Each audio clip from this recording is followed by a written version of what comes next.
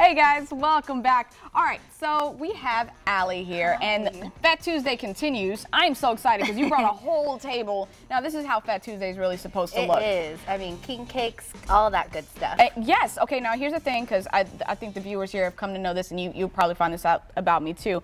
I can't cook, but I'm sure I can decorate, which is what you're here to show us how to and do, right? I am sure you can too. So this is to do it at home, make it easy, um, so that maybe today you can do this with your kids, stuff like that. I know you don't have kids, but saying just. I don't need them. I work with Curtis. All right.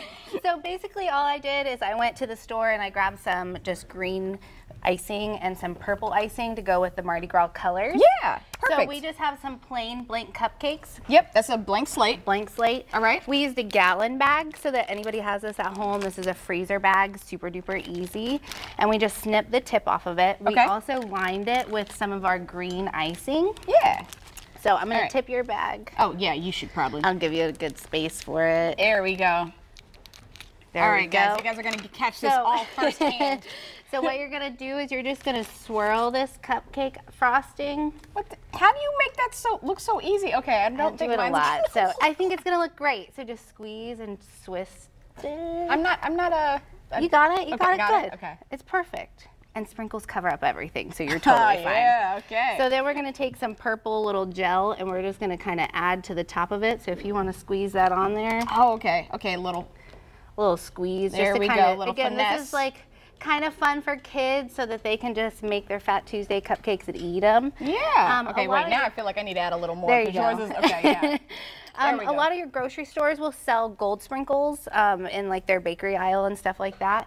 So all you have to do is just add a little bit of gold to it to give it a little pop. Little pop. So this is the equivalent of like my high. Okay, it's a little too That's much perfect. pop. No, that's perfect.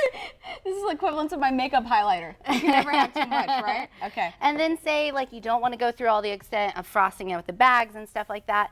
A lot of your grocery stores will sell just blank white cupcakes, which are perfect too. Yeah. So we're gonna do the same thing. We're gonna just play with our green and our purples and So decorate with our gold sprinkles. You can really just go. It can go a long way using just you know frosting with the color scheme. Yep, exactly. And really for any holiday. So if you're doing Easter, if you're doing 4th of July, you can really just change this up with getting red and blue or pastels, whatever you want to do. There you go. And plus St. Patty's Day is coming up. You'll already have green in, the, in the pantry. So okay. then you don't you have you don't really have to make it pretty. okay. I, I'm gonna I'm gonna follow your lead. So again, we're just like kind of adding to it and sprinkles and everything make it look better. All right. And so I also brought like some of your bakeries will also sell sprinkle mixes that are super fun or lots like on Etsy and all that kind of stuff nowadays. So this just really makes it look Ooh, super I like that. And this has this has like a little. These extra sprinkles are. I, Yeah, I am the worst. okay. I'm glad this is not at home because I would not want to clean this. You should see my kitchen on a daily This basis. This is It's great. not good. All right, so there you go. We have So given it a full Mardi yeah. Gras makeover. So they're beautiful. And now, if you really want to go to the extra limit, um, we make a king cake filling for our cake pops, for our cupcakes, and everything like that. So here I have a cup of sour cream, okay. and then we're going to add in a little bit of milk. It's about a fourth a cup of milk. Okay.